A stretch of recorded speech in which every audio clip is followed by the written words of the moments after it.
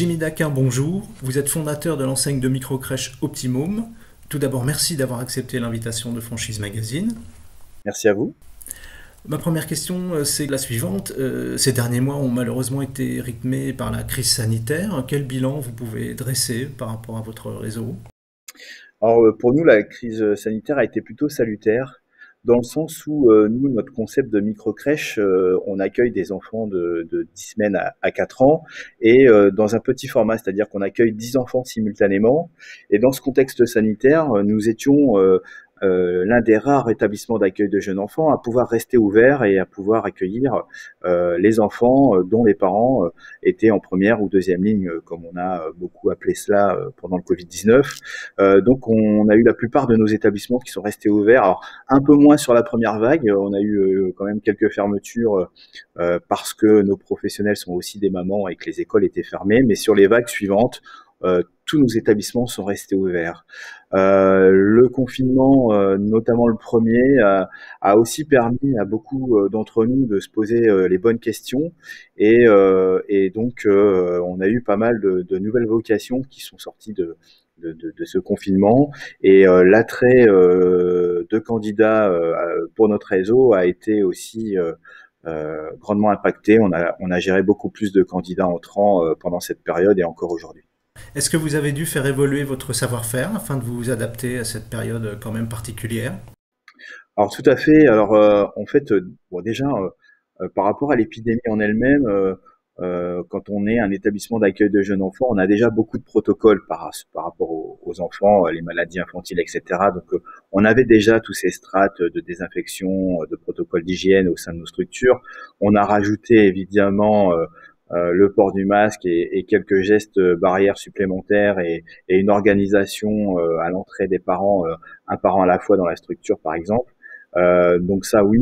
Et par rapport à notre accompagnement et au montage de projets microcrèches, effectivement, euh, on a aussi euh, nous augmenté nos effectifs en interne au siège pour pouvoir répondre justement aussi à la fuite de demande de, de, notre réseau par rapport à, à ces, ces volontés d'entrepreneuriat qui sont issues de ces, de ces moments de réflexion pendant le confinement.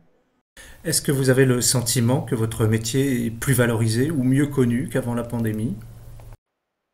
Tout à fait, parce que euh, on a aujourd'hui euh, en micro-crèche une forte demande des parents. Pourquoi? Parce que euh, ceux qui fréquenté d'autres établissements comme des multi-accueils ou, des crèches municipales, elles étaient fermées euh, du fait de leur nombre d'enfants accueillis qui était supérieur à 10 et euh, les seuls euh, qui étaient ouverts sont les, les, les concepts micro-crèches. On a vraiment un attrait des parents via notre concept aujourd'hui qui sollicite de plus en plus nos structures pour faire garder leurs enfants.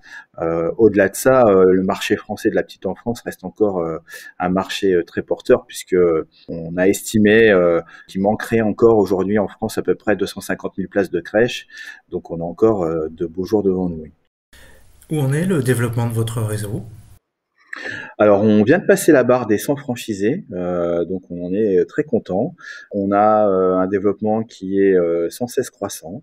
Perspective à fin d'année prochaine à dépasser 150 franchisés, un objectif qui nous semble largement atteignable puisque nos, nos tout premiers euh, franchisés euh, ont aujourd'hui deux voire trois structures micro crèches et ça fait partie aussi euh, de notre développement.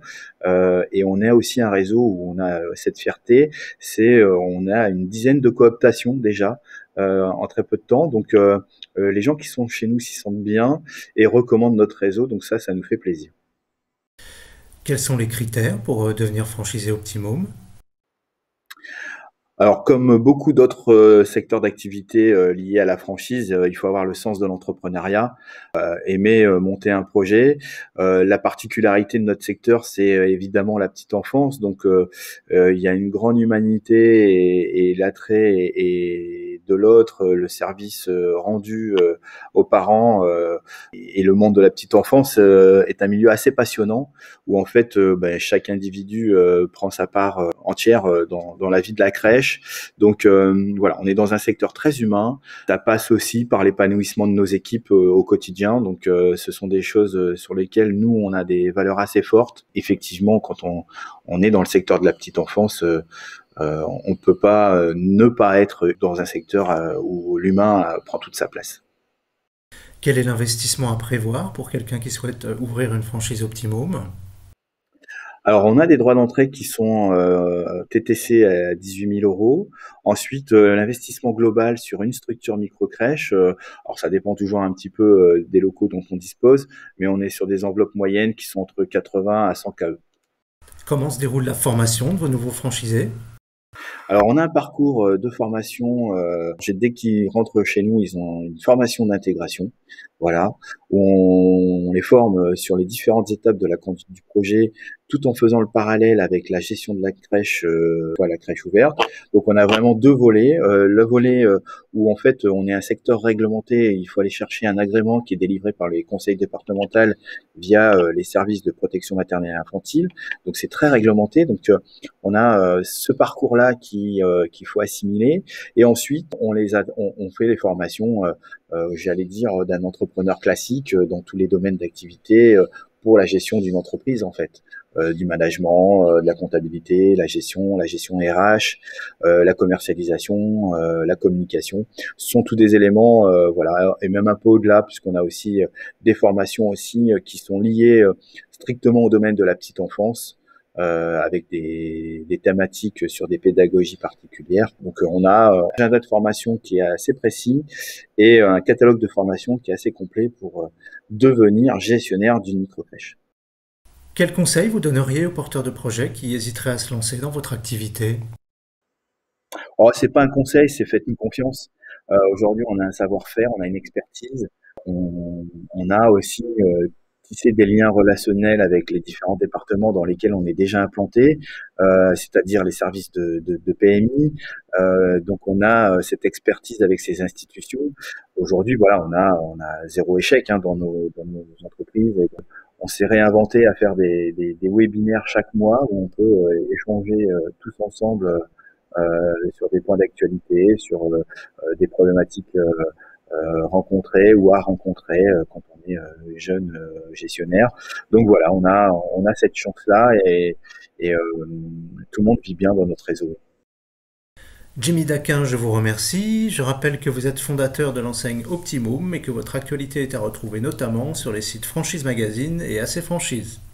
Merci à vous.